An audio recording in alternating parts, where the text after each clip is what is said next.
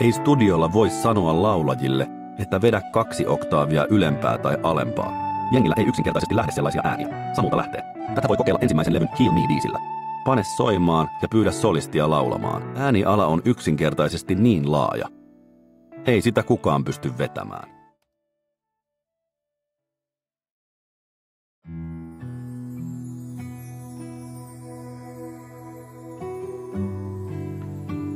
Ei sitä kukaan pysty vetämään. Tämän minä kokeilen nyt. Okei, okay, heal me. Katsotaan miten tää nyt sitten taittuu.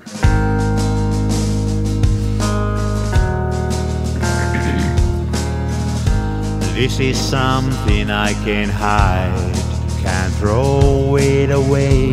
This is something I can't fake. They know you're away, they know how to break me. They know you're far away.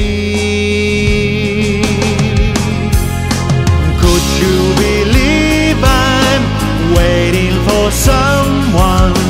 Could you believe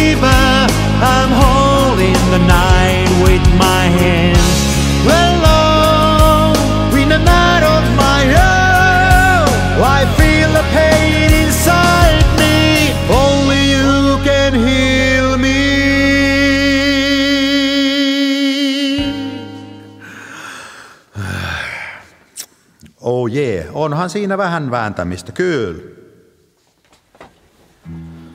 No joo, kyllä se taitaa niin olla, että pari oktaavia siinä nyt on ja onhan siinä toki laulamista, että, että kyllä se Jukka Paklund ihan oikeassa on ja Samulla tosiaan on aika hieno rekkari. Siis aivan täysin poikkeuksellinen ominaisuus on ääniala. En ole koskaan äänittänyt toista samanlaista tyyppiä, ja mä olen äänittänyt helvetisti ihmisiä. Jukka Baklund. Joo. Kyllä. Se on baritoni ääniala ja se on aika hyvä rekisteri monelle. Pakko on nyt kokeilla kuitenkin vielä se, mihin tässä itse kykenee. Ja mäpäs käyn nyt vielä tuossa studion puolella hönkäsemässä, että minkälaisia ääniä tästä kropasta lähtee. No niin, katsotaas minkälainen homma.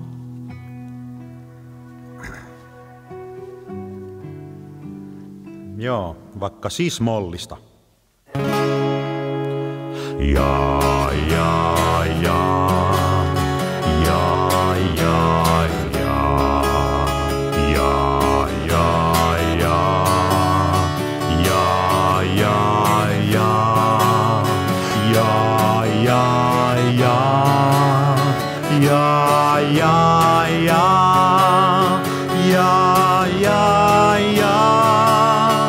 Ja, ja, ja.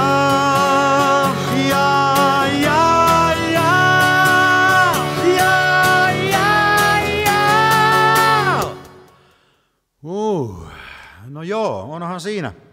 Siinä oli varmaan reilu kaksi oktaavia. Että on paha vetää. Joo, oh, joo, oh. Yhteenvetona voidaan nyt ehkä hämmästellä sitä, että mikä tässä maassa on poikkeuksellisen laaja ääniala, joka on mahdollisesti jopa biologisesti tarkasteltuna huikea. Meniköhän sitaatti oikein? No, eihän tämä musiikki mikään kilpailu ole. Toiset laulaa matalolta ja toiset laulaa korkealta. Se on ihan fine. Jokainen keskittyy omaan tekemiseensä. Mutta tätä Samu Haaverin kirjaa suosittelen kaikille. Samu on erittäin esimerkillinen kaveri näyttämään sen, että kovalla ja tinkimättömällä duunilla unelmista voi tulla totta. Jatketaan videopäiväkirjan päivitystä ja julkaisemista taas viikon päästä. Ensi viikon perjantaina nähdään. Moro!